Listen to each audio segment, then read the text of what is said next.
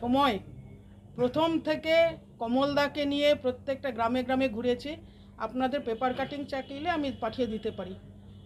আর তৃণমূল বলবেন, কি বলবে বলুন তো? একটা রাজনৈতিক দল সরকার পক্ষ চালাচ্ছে, নিজেদের সদর্থক কিছু বার্তা নেই, এসব তো করতে হবে। আমি প্রথম ঘুরে গেছি, তারপর আমার যে রাজনৈতিক কার্যক্রম ছিল, একজন দেশের মন্ত্রী, আপনারাই এখান থেকে বললেন মুখ্যমন্ত্রীকে কেন হচ্ছে, আনতে হচ্ছে। সাত দিন থাকলে আপনারা এখান থেকে বলতেন যে কেন্দ্রের মন্ত্রী, সর্বভারতীয় মন্ত্রী সব দেশের, পুরো দেশে দায়িত্ব কেন আপনি এখানে পড়ে আছেন? কেন পড়ে থাকতে হচ্ছে? আমি নিশ্চিন্ত আছি, এই সিটে কমলদা যে মার্জিনে আমি জিতেছি তার থেকে বেশি মার্জিনে জিতবেন, সেই জন্য আমাকে এখানে এসে পড়ে থাকতে হচ্ছে না।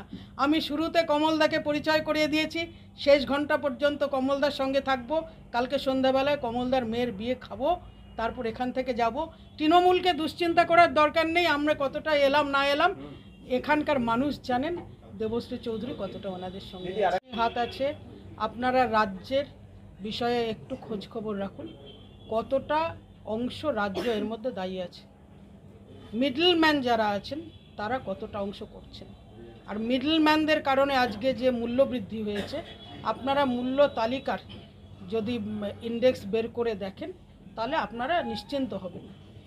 রাজ্য সরকারের এটা কাজ সব কিছু আঙুল তুলে দেয় যারা যারা যারা মধ্যবর্তী মধ্যস্বত্বভোগী আছে যারা রাজ্যে এটা করছেন তাদেরকে ঢাকাটা রাজ্য সরকারের এখন মূল বিষয় হয়ে গেছে। তাদেরকে ঢাকতে এক কথায় মূল্য বৃদ্ধি বলছে।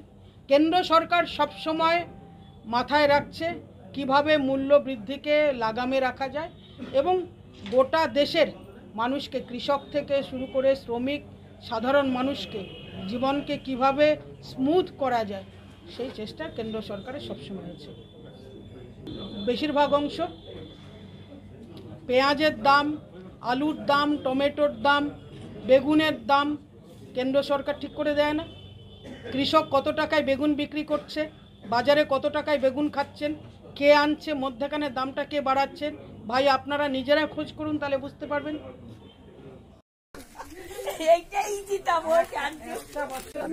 সবই দেই সবই দে সবই কেন্দ্র থেকে আসে পারবেন আপনার তো ছেলে আছে শুনুন এই পশ্চিমবঙ্গের সব শেষ হয়ে গেছে। একটু ধৈর্য রাখুন একটা বছর ধৈর্য রাখুন। আপনি থাকবেন আমি এইটাই ভরসা করে থাকব। থাকব নিশ্চিত থাকব। কিচ্ছু নাই দিদি। এই রানা আচ্ছা আচ্ছা আচ্ছা আচ্ছা আমাকে দরকার ওকে বলার আচ্ছা আচ্ছা আচ্ছা কাঁদবেন না আপনি কাঁদবেন না আপনি কাঁদবেন না। ইনকাম আসে কই? মানে কাজের উপরে। কাজের উপরে যখন কাজ হলো তাহলে বন্ধ থাকে তখন মুশকিল হয়ে যায় ওই জন্য একটু কিছু করতে পারছি না। মানে মনে করেন যে হয়তো গেল হয়তো সত্তর আশি টাকার কাজ করে আসলো।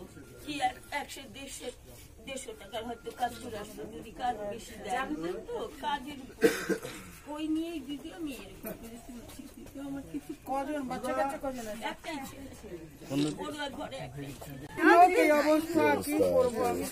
হ্যাঁ, আপনারা এরকম কাঁদলে আমি অসহায় হয়ে পড়ছি। এই পশ্চিমবঙ্গের এই অসহায় অবস্থা। কোটি কোটি লোক। চাই না দিদি। বেকার ঘরে ঘরে কাঁদবেন না কাঁদবেন আমার এই ছেলেটা কিছু দেখার লোক